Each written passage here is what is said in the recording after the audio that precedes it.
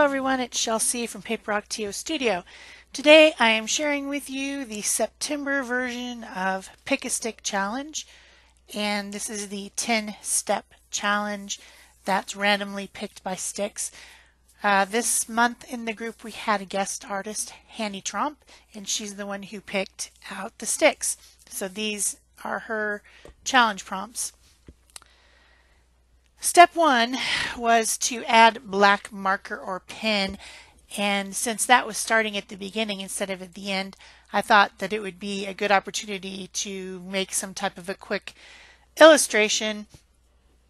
And I was uh, looking through the steps, and the third step was to add wings, and so I decided to make a little desert fairy because fairies have wings and apparently boots, according to Ozzy Osbourne. But anyway, we'll we won't go off track this time, right? Fairies wear boots and you gotta believe me. Never mind. Okay, so I've got my soft graphite drafting pencil and I'm doing a quick illustration of a very whimsical girl with a, you know, a look about her that's definitely not realistic. Um, I did tape off my page and gesso it before I started. I didn't even think you needed to see that at the beginning, but I forgot how annoying it is to try and erase pencil off of gesso. Does not work at all. It's terrible.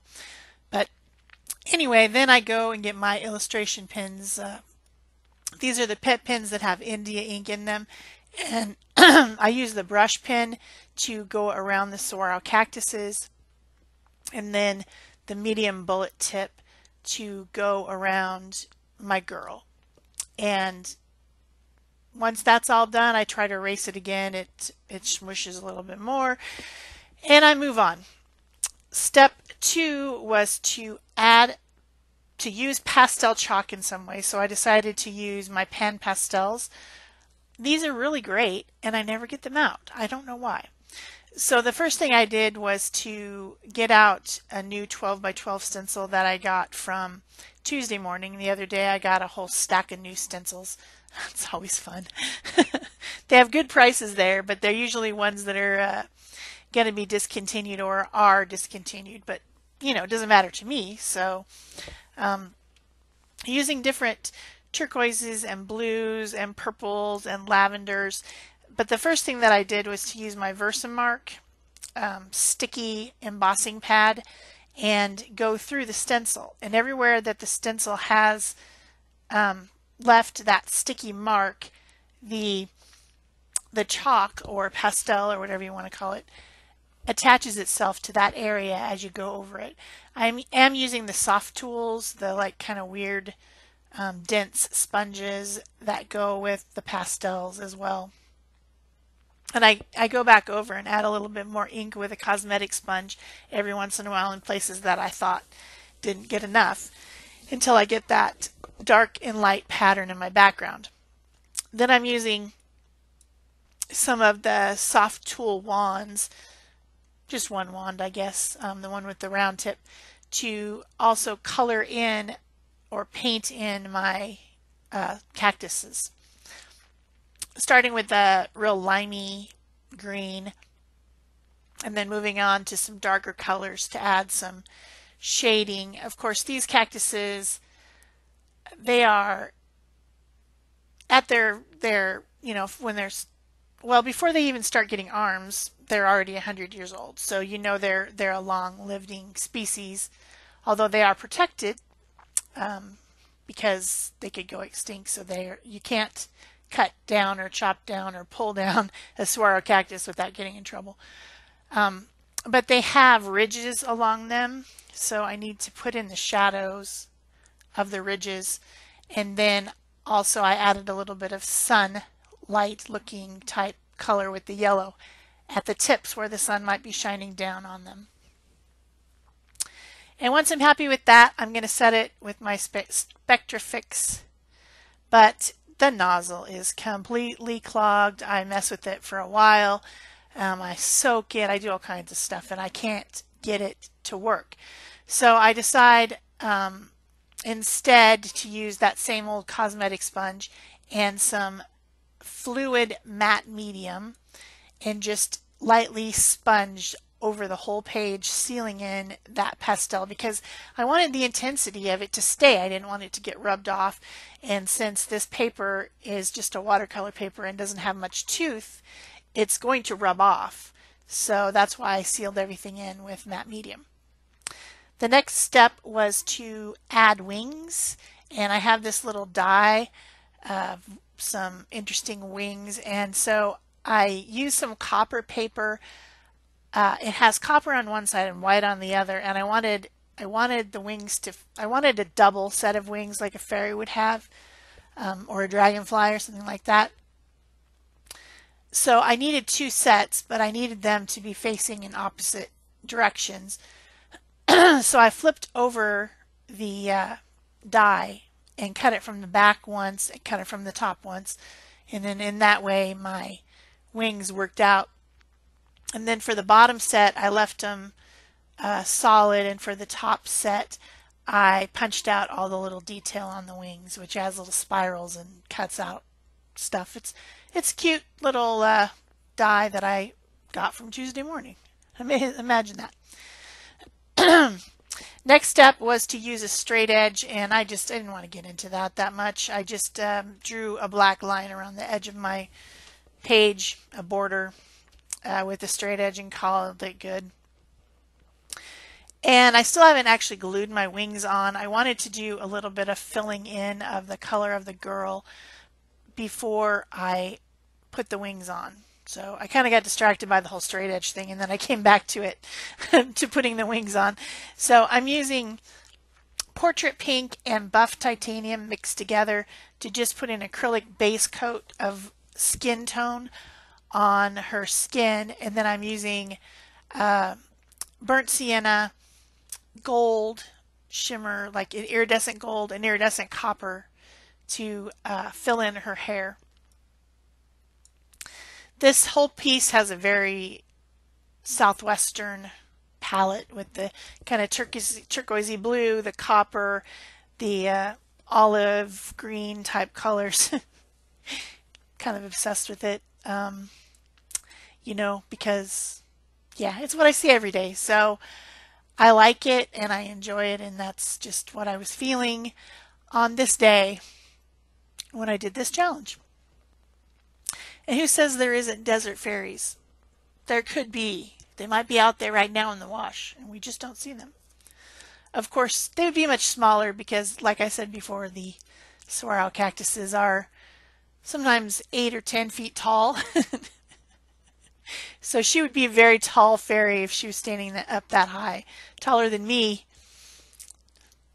But anyway, we're not going for realism here. We're going whimsical. So yeah. The next step, uh, step five of 10 was to use book paper and I hadn't decided what color I wanted to make her little outfit yet so I just decided to use a very old aged dictionary page which I thought looked kind of like something a fairy would, you know, the color, not the words, but the color would be something a fairy would wear, kind of a um, very neutral color. So I used my deli paper to make a pattern and then I flipped over the deli paper, glued it onto the back of the page, and then used that to cut out um, my shape. The reason I did that is because deli paper is translucent so I can draw the shape very easily trace, not really just draw, but trace the shape very easily and use it as a pattern. Next step was to add chipboard or cardboard piece. These are some uh, chipboard thing, punch out things that I have. I don't even know what they are. I think they might be tabs for folders or something. I don't know. Anyway, I painted them copper and also added in some of those scraps of the book page that will kind of uh, make give them like maybe a little bit more of a grungy appearance.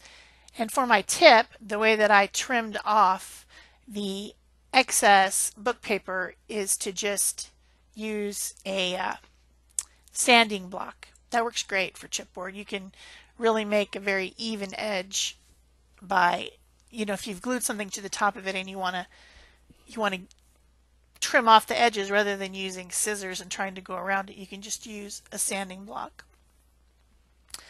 Step seven, add pearls. Didn't have any stick-on pearls that I could find, so I decided to use this pearl drops type thing from uh, Faber-Castell. It's just um, a shimmery pearl white color in a fluid and you just dot it on and then once it's dry it looks like little pearls. So I just dotted it around here and there. Um, added some detail to her dress, added it to the wings, and then I went away for an hour and let it dry and then came back. So that's why the light's a little bit different. Now it's uh, later in the evening, so it's not quite as bright. The next step, um, write random words in at least three places. I just decided to use my white Posca pen and write some words about the desert um, on around the edges of my saguaro cactuses.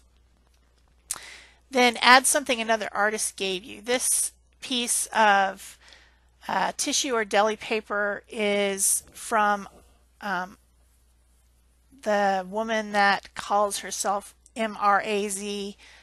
Uh, I think her name's Merzinski or something like that. Anyway, her first name is Arlene, and she sent me some happy mail a while back that has all these very pretty papers in it, and this is one of them. And I was hoping that it would stay whiter lighter on there on the background. When I put it on there, it kind of blended into the background, but it has some copper glitter swirls on it. So I just cut it in a swirly shape.